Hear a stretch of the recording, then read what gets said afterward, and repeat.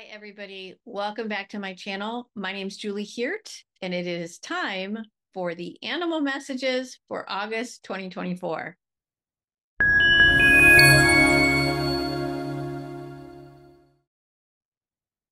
I'm so glad you're here. We've got a lot of things to cover, I think. so we'll get started here in just a second. Just so you, for those of you who are new here, uh, I am Julie Hirt. I am a certified soul level animal communicator and a certified soul level intuitive coach. And every month, what I do is so in the month of July, all of the animal communication readings that I had, they all have soul level lessons that come through at the end of every reading. And what happens is there a thread or a theme begins to form uh, that all the lessons kind of have a similar undertone. And there can be a couple different directions for that overall theme, but that theme is what then then I work with the animals towards the end of the month to create and craft their message that they want to share with everybody for the month of August. So this is what they are talking about in August. If you remember at the very beginning of 2024, they were talking about their overall theme for the year was going to be um, creating more wholeness and also creating more connection and even creating wholeness through connection, whether it was deeper connection with your pet, deeper connection with everyone around you. And by everyone, I mean humans, trees, insects, everything around you, as well as your full community and whatnot as well as creating a um, deeper connection with the divine. So their whole theme around all of that connection and creating that wholeness, uh, that's been the theme for the whole entire year. And then every month they've taken a step forward in um, I don't want to say completing because it's never done, right? But in getting closer to that becoming whole. Um, so last month, if you remember, they were helping us uncover the strength that we had already within us. And the month before that, for June, they were helping us get to a point of confidence uh, that we are also already had. So what was interesting was that there was a slight switch from the first part of the year to from in the first part of the year, we had things that we were looking for and working with and working to kind of bring into ourselves. And the last couple months, uh, they've been actually working with things that we already possess. So there was just this little bit of a switch. So they continue with that. And the animal messages for August are all about raising your voice. So we, as many of you know, we have a lot of things on our plate. We've got a lot of things to take care of. We've got a lot of issues at hand that need to be worked through, worked on, whatnot, our own self, the greater higher good, all of it. And we're being called, and the animals are inviting us to do this. And this month, it's through raising your voice. So there's a couple of buckets in this raising your voice. So the whole entire um, all of everything in this video may not resonate with you, but you may most likely you'll fall into one of these buckets.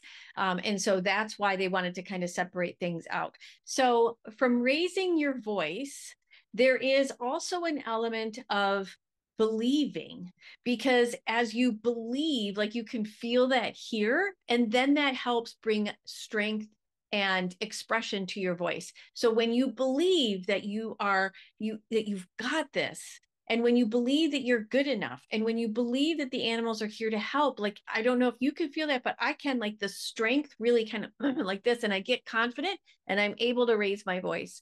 So this belief bucket is one of them. Believe that you're good enough. Believe that you're wanted. Believe that your voice needs to be added to the chorus of everything else. We need to hear your voice.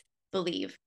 So the second bucket is trusting your intuition or trust, I should say, trust, overall trust, which I know a lot about learning trust because that's Lucas's biggest message for me over the course of our so far. He just turned eight, so almost a little over six years now we've been together.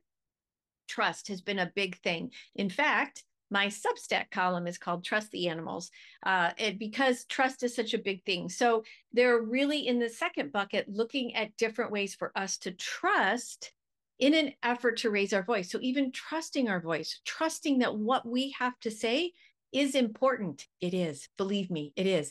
So trusting that what you have to say is important. Trust yourself trust your intuition, of course. If I didn't say that already, and we want to make sure we get that set, um, said. And going back to trusting what you need to say, even if what you need to say is stop, trust it and let it come out because you get to call the shot. You get to say yes or no. You get to say stop or go ahead. So say it. Um, that and so trust was another thing. And then also I want to say within trust, there's also this um, trusting that disconnection can also be helpful. So if you're in a situation that no longer serves you, whether it be a job, whether it be even, you know, scrolling on your phone or um, watching a certain set of TV program or going out to an event, if it's something that doesn't serve you, trust that disconnecting from it is going to be just fine. The universe has your back. Your animals have your back. You can absolutely disconnect from any of all of that and be absolutely fine. Um, and always trust that the ones who need to connect with you can also find you and also trust your intuition that if they don't feel right for you, you don't have to connect with them either. Um, we also just want to say you are worthy of love and trust yourself to ex- to accept it when someone gives back to you what you put out in the universe because you're you're worthy to accept that back. So trust is the second bucket. So we had believe, we've got trust, and now the third bucket, you know, many times the animals talk a lot about self-care and they talk about taking care of yourself. And there was um, a couple of readings in particular where I thought it was crazy that the same theme came through, but it was queen for a day. You get to be queen for a day. You get to take care of yourself exactly as you would want to take care of others absolutely be queen for a day. And again if people if you do put a lot of yourself out there and then people are actually saying allow me to do the same for you accept the favor. Uh, in doing that you're actually honoring everybody else. So you're actually growing the care that you give for others by accepting it from others. I know it sounds a little backwards but if you think about it if you think about it from like a karma perspective what you put out you get back.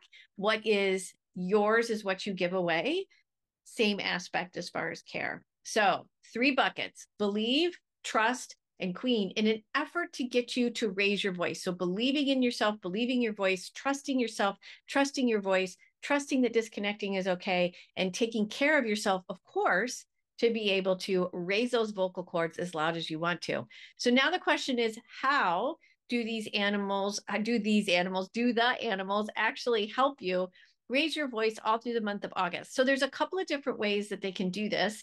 And what I would say to you is when an animal around you that you're close to. It can be your dog, your lizard, your ferret, your cat, your horse, your llama, your cow, whatever it may be, your snake, even any and all things. When they do a behavior that makes you go, hmm, and you can really feel that it it either bothers you, it worries you. Um, worrying can be a superpower, don't forget. So anything that causes you to go, hmm, and kind of really I just say I don't want to use the word nag, but it's more like it just kind of gets underneath your skin. That's their way of communicating with you that there's something in there for you to take a look at.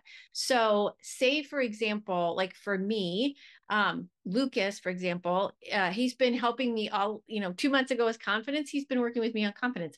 And one of those ways is that he's really afraid of thunderstorms. He's very afraid of big booms and noises and things like that. So thunderstorms, gunshots, and crazy that I have to say list gunshots in there that he hears them. But anyways, but gunshots. Um, what else there's other stuff around here if we get um uh, just really large um, if there's construction it's just boom and it shakes the house i know this to some degree goes back to an earthquake that we all lived through that was a 7.1 but that's another story anyway but what will happen is he will show me how incredibly afraid he is. And instead of, and because it really bothers me when he's really afraid, he's actually doing that so that I'm like, oh, why does that really bother me? And it's, I just don't feel like I'm good enough to be able to care for him. I feel like I'm helpless. I feel like I can't change anything for him. And so when I sit with that and I think about it, it's like, okay, so when a thunderstorm comes up, what can I do? It's, oh, I can just be in it. I can relax in it.